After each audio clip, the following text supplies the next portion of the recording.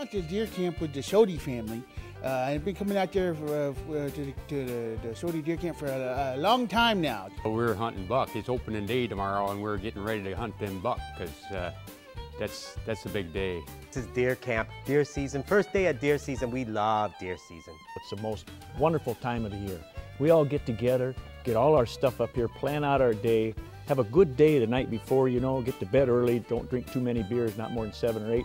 Get up early the next morning, go out to the blinds, and we hunt deer. We go up under the, the ridge, and it's so beautiful up there, and, you, and we, we, hunt for the bucks. That's that's a big day. That's the big day. Holy wow! Oh, we drink uh, Albert Soady's. That's uh, my pops. His uh, sweet sap soda. Oh, the other Soadys, well, there's Pop.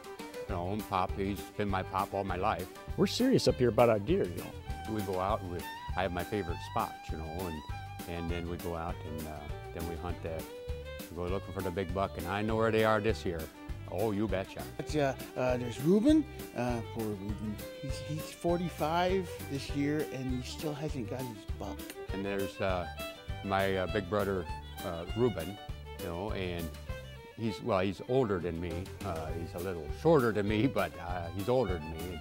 Well, just my boys, you know, Reuben and Remnar.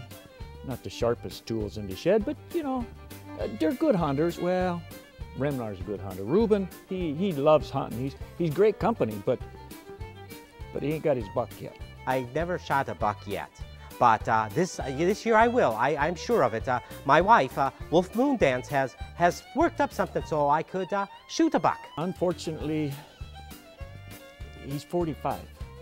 And if he doesn't get his deer this year, well, he's going to go into record books as the oldest Soady never to get a deer, you know. So we're trying to help him out. We really are, but but we don't want to be near him when he's out hunting either, because if he don't get his deer, then maybe we won't either.